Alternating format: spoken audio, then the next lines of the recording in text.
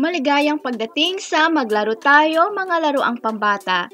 Meron ako ditong isang squeezy mesh ball na nasira. Isa ito sa mga rainbow squeezy mesh ball at ito yung violet ang kulay. Yung sa loob nito ay puti. At yung glitter or slime ay itong dito sa plato. So, ito yung net. Um, at kailangan nating i-repair itong bola natin. So, hiniwa ko ito dati. Um, kailangan natin ng um, duct tape at uh, extra na net. So, um, ito yung slime. Uh, ilagay natin ito uli dito sa ating mesh ball. Okay. Ayan. Malambot pa ang ating slime. Okay. At kunin na natin tong slime natin. Oh. Talagang slimy at sticky ito. Ayan. At ipasok natin ito sa ating bola.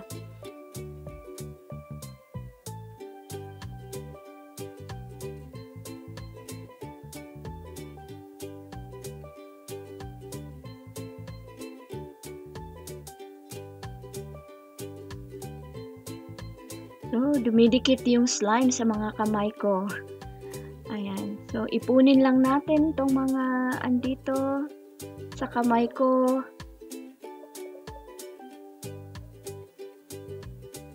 At ipasok natin sa ating bola.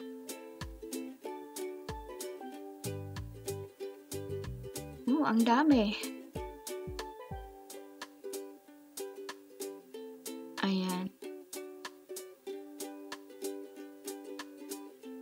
Ito pa. Uh, pero okay na siguro to. So, kailangan ko lang maghugas ng aking mga kamay at babalik ako kaagad. Okay, sandali lang. Okay, so kunin na natin itong duct tape natin. Ito yung napaka-strong na klase ng tape. Kaya dumidikit ito ng mabuti. So, ito yung gagamitin natin.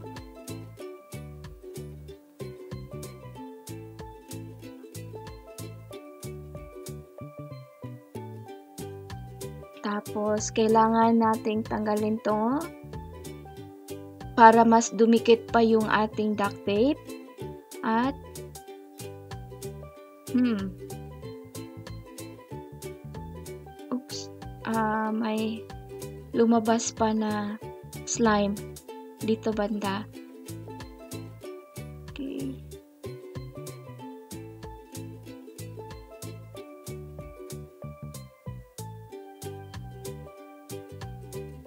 Na mukhang ayaw nitong dumikit sa bola natin.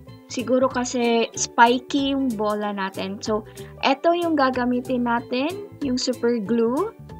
Um, so, di ito dapat gagamitin ng mga bata. So, I suggest mga bata dapat ay magpatulong sa inyong mga magulang o sa mga mas nakakatanda sa inyo.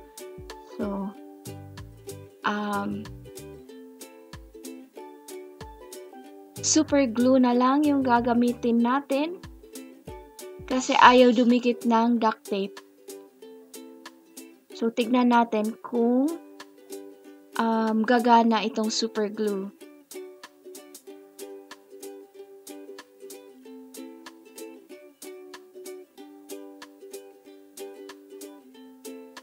Um, kailangan natin itong uh, mag-dry muna.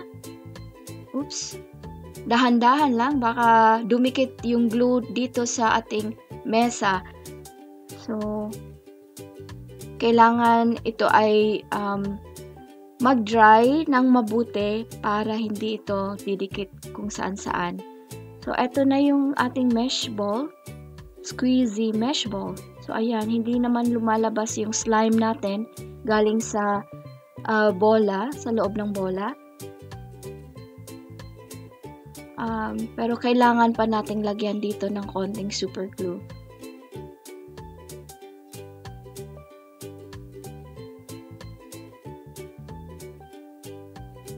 Dito banda ay okay na pero ah, may slime pang lumalabas yata.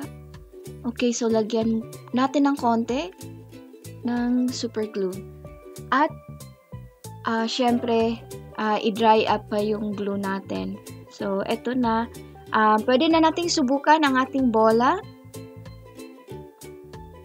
At, uh, syempre, ilagay din natin itong net sa bola natin.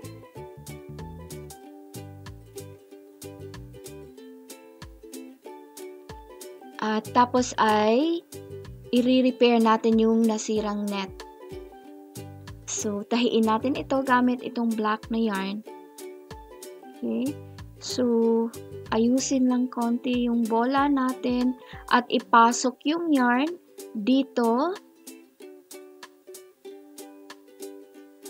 Ayan. Pagkatapos ay dito sa kabilang side. Okay. Tapos dito sa kabila ulit. Ayan. At balik ulit tayo dito sa kabila. Okay. So, ganito lang.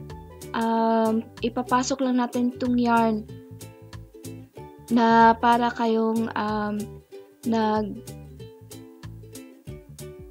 sasara ng inyong sapatos gamit ang iyong sintas. So, dito sa last banda ay gumawa tayo ng knot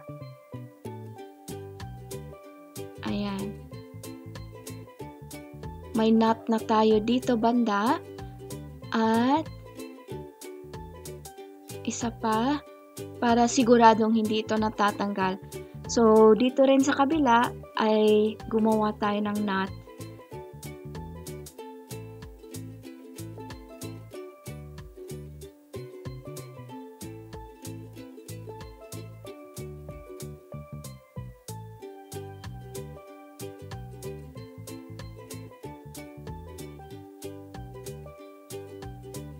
Okay. So, i-cut lang yung extra na yarn.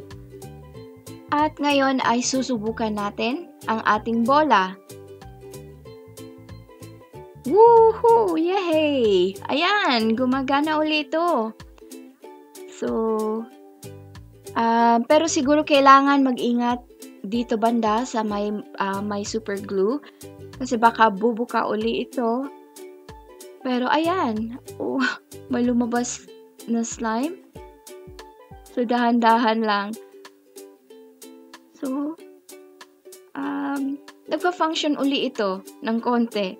Uh, so, na-repair natin yung ating squeezy mesh ball. Uh, pwede nyo rin gawin ito. Siyempre, mag-ingat sa paggamit ng super glue. Dapat ay magpatulong sa mas nakakatanda sa inyo at kung nagustuhan ninyo itong video na ito ay huwag kalimutang bigyan kami ng thumbs up at huwag din kalimutang mag-subscribe sa aming channel. Um, pwede nyo ring hanapin yung video kung saan hiniwa ko yung is- itong uh, mesh ball na ito. So, aabangan ko ang inyong mga komento dito sa ibaba at magkita-kita ulit tayo sa aking uh, susunod na video. Okay? Alright. So, um, yeah. Pwede na kayong mag-repair ng inyong mga squeezy mesh ball. At, syempre, again, bigyan kami ng thumbs up. At, hanggang dito na lang tayo. So, hanggang sa muli. At, paalam!